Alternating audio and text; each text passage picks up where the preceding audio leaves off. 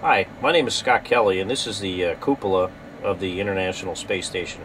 The cupola is a uh, small uh, module that provides us a uh, vantage point to see outside of the space station, uh, mostly for robotics operations, as we have uh, occasionally visiting vehicles that approach the space station that we have to grapple with the space station's robot arm, or other um, robotics activities but as you can see, it's also a great vantage point to, to look at the Earth.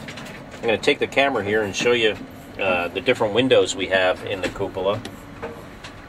This is uh, facing aft.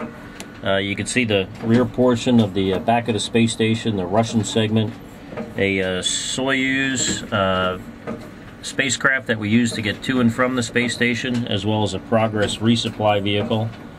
We'll come along here to the uh, starboard side of the space station where you can see perhaps the uh, there's a radiator out there one of the large solar arrays to the uh, front of the cupola the Japanese experimentation module as well as the uh, you can see part of the uh, robot arm in that window.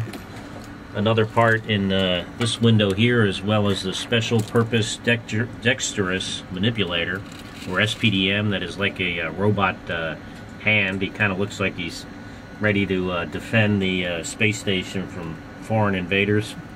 And uh, over here we have the other side of the uh, space station and the solar arrays, the U.S. laboratory module, and another node.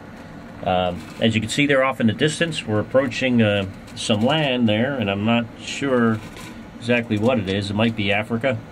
Um, we also have a program up here, a map program that'll show us uh, where we are over the Earth. I'm going to hand the camera back to my cameraman and uh, talk briefly what we also use this uh, module for when we're not doing robotics and we don't have visiting vehicles, and that is to uh, observe the Earth, take uh, pictures for uh, scientific reasons, but also for, for public outreach. And we have a bunch of different types of cameras here that we use. Um, these are some of the smaller lenses. We also have up to an 800 uh, millimeter lens that we can take up some close-up shots. But we take pictures here both uh, in the day and uh, also at night and get uh, some very uh, interesting, I think, photos of our beautiful planet Earth from this really uh, great addition to the space station.